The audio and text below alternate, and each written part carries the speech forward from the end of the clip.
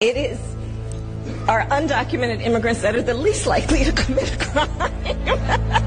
Police report as many as 75% of the people they've arrested in Midtown Manhattan for assault, robbery, and domestic violence are illegal migrants. Police have tracked down a killer whose crimes span the country. Rachel Morin was dragged from a hiking trail in Maryland where she was raped and murdered. Police say Brandon Ortiz Vite used a handgun he bought illegally to shoot Ruby Garcia multiple times on Friday. The prime suspect charged in Laken Riley's murder was 26 year old Jose Antonio Ibarra. He illegally entered the United States back in 2022. A Texas grand jury indicted Rafael Govea Romero. He's accused of attacking 16 year old Lisbeth Medina by repeatedly hitting her head and stabbing her.